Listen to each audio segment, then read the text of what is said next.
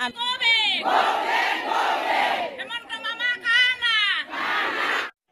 আমি আজি অতি দুখেৰে জনাওঁ যে আমি আজি জুলাই মাহৰ পৰাই আন্দোলনৰ কাৰ্যসূচী লৈ আছোঁ কিন্তু এতিয়ালৈ চৰকাৰৰ কোনো চকু খোল খোৱা নাই চৰকাৰে বহুত আলোচনা বিলোচনাৰ পিছত আমাৰ সঞ্চালক মহোদয়ে বহুত হেৰি দিলে আশা দিলে যে আমি চৰকাৰক এই কথাখিনি জনাম কিন্তু এতিয়ালৈ আমি মাজতে তিনিমাহ আমি আন্দোলন স্থগিত ৰাখিলোঁ কিন্তু কোনো কাৰ্যসূচী হাতত নল'লে। আমাৰ বাৰ ফেব্ৰুৱাৰীত যিটো বাজেট অধিৱেশন হ'ল তাত আমাৰ মজুৰি বাঢ়িব বুলি আমি মানে বহুত আশাৰে বাট চাই থাকিলোঁ। কিন্তু আমাৰ বিত্তমন্ত্ৰী অজন্তা নেওগ ডাঙৰীয়ানী আমাৰ কোনো দাবী মানে মানি নল'লে।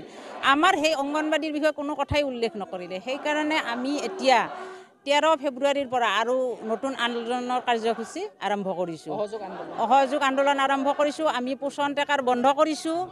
আৰু আমি আজি প্ৰজেক্টে প্ৰজেক্টে মানে চব প্ৰজেক্টত আমি এতিয়া তলা বন্ধ কাৰ্যসূচী আজি হাতত লৈছোঁ। সমগ্ৰ অসমতে চলিছে। আমি এতিয়া গোবৰ্ধনা আমি প্ৰজেক্টৰ পৰা আমি আজি তলা বন্ধ কাৰ্যসূচী লৈছোঁ। আমাৰ যেতিয়ালৈ মানি নল'ব তেতিয়ালৈ আমি অনিৰ্দিষ্টকালীন এই তলা বন্ধ কাৰ্যসূচী অব্যাহত ৰাখিম। অ, লোক- লোকসভা ইলেকশ্যনত আমিতো যেতিয়া আমাৰ যদি মানি নলয় এই দাবীসমূহ আমি ভোট বৰ্জনৰ দৰে কাৰ্যসূচী আমি গ্ৰহণ কৰিম বুলি ভাবিছোঁ।